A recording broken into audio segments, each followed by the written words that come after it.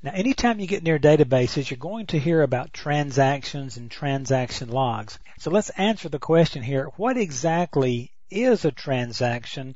And this will fit in with what is a transaction log and how do we use the thing. So first off, simple definition, a transaction simply comes down to any set of multiple actions that must either all complete successfully or all fail. In other words, let's say we've got three different actions that are taking place. We want all three actions to be successful and to go into the database, or if two of them are successful and one's not successful, we don't want any of these actions to go into the database. It's all or nothing. There's a classic example of this, and let's take a look at it. You go online to your bank and you want to withdraw some money from savings and then you want to deposit it into your checking account. Okay? You want to do it all over the internet.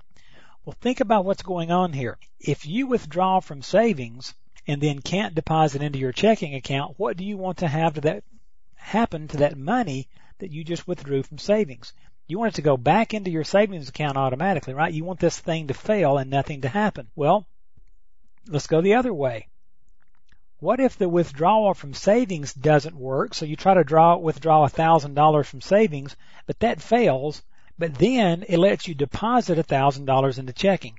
Well, you know, you and I would be spending all night online on the bank's uh, website depositing money into our checking account, right? Because the bank wants this withdrawal. If the withdrawal is successful, they want the deposit to be successful. If the deposit's successful, they want the withdrawal to be successful. Same thing for us. We both have a stake in this. So we want both of these to be successful or we want neither of these to be successful. That's a transaction. Now, this adds a lot of power to, again, the advantage of using a transaction log. Let's go back to our little diagram.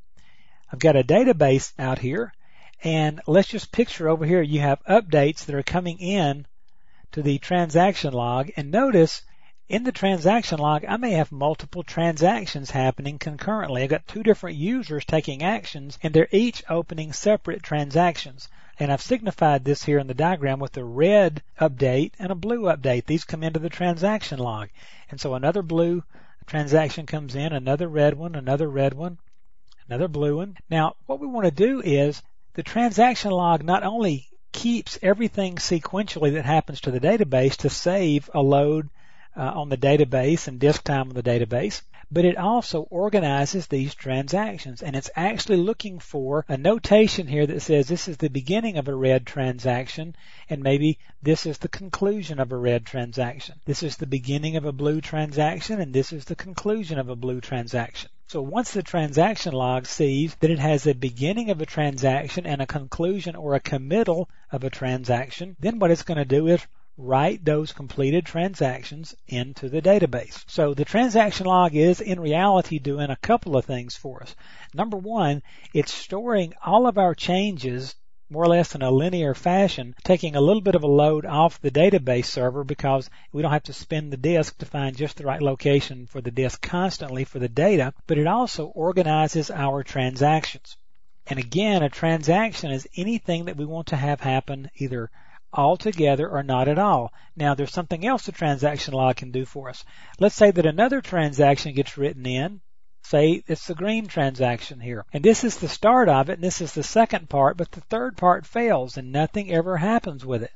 What do we want to have happen? Well, we want those transactions, if they never completed, to just disappear. So we can simply roll those transactions back out of the transaction log. Now, one thing you will need to know and understand is that for the time these transactions are in the log, that when I run a select against the database, it actually looks in the database itself for data and it looks in the transaction log. It combines those together and sends the result set back to me. So anytime I do a select statement, I really am looking in two or three different places. There's actually more places. There's a RAM location and memory where it's looking. But the bottom line is, is until that transaction log has been purged or until something happens to cause that data to be wiped out of the transaction log, it will still show up. But at some point, it does disappear and it's as if it was never in the database. And in actuality, it never was. It was only in the transaction log. So that's the power of the transaction log. Now, the next couple or three videos, we're going to talk about how do we kick transactions off? How do we give SQL Server hints that we want certain things to be part of transactions.